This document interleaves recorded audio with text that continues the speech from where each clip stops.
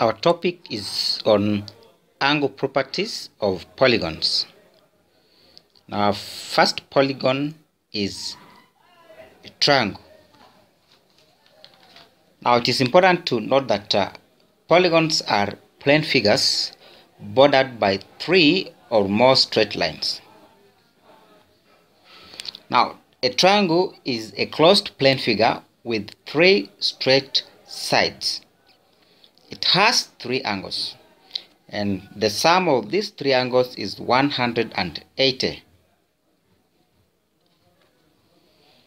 Now a triangle with one of its angles 90 degrees, like in this case, is called a right angled triangle.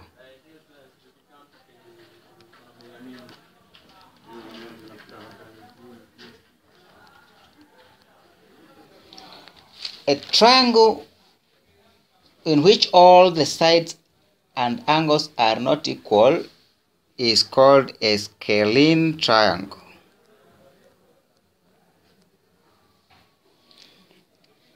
A triangle in which two sides are equal and they make equal angles with the third side is called an isosceles triangle.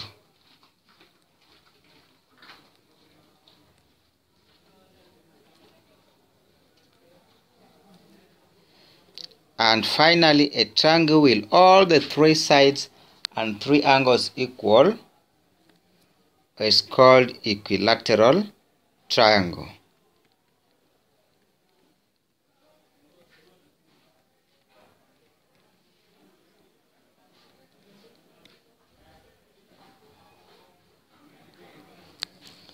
Exterior properties of a triangle.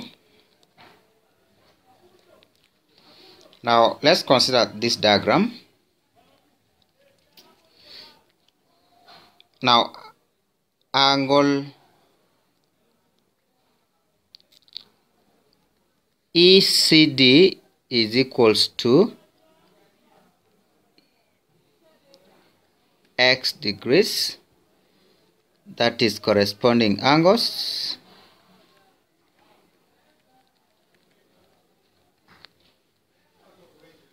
are equal. Angle ACE equals to y and those are alternate angles. are equal. So therefore z angle z will be equals to angle x plus angle y so therefore sum of two interior opposite angles equals to exterior angle.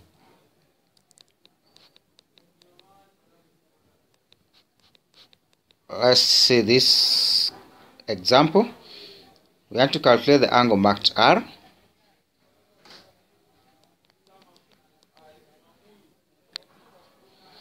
Now in this case, triangle ABC is isosceles.